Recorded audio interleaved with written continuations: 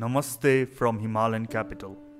Today we are featuring 200 years old loom technology invented by Joseph Marie Jacquard, which uses the punch card technique to design the fabric. It was later adopted by a computer system. You can call Jacquard as the forefather of a modern day computer. First, the fabric design is translated to graph paper. Then the design is transferred to the punch card by a skilled craftsman.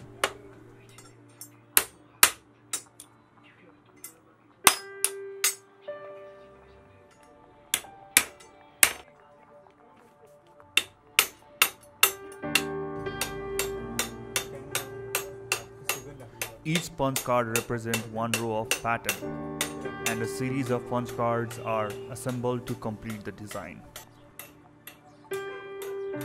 Then this chain of punch Jacquard is attached to the card machine.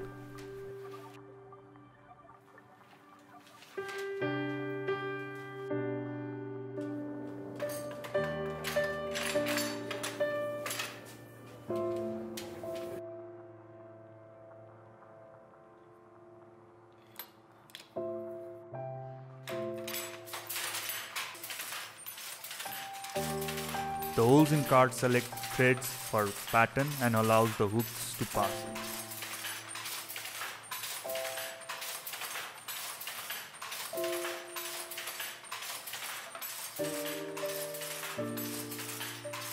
Lastly, the fabric is created by passing threads over and under using the shuttle.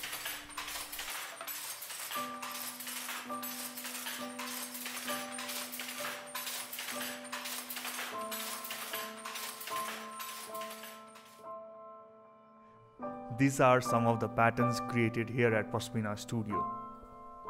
Since we are working with probably the last generation of Jacquard craftsmen in Nepal, here at Pashmina Studio we are keeping the authenticity of Jacquard tradition alive. For more information, you can visit our website www.pashminastudio.com or DM us on our social media links which are given on description below. Thank you.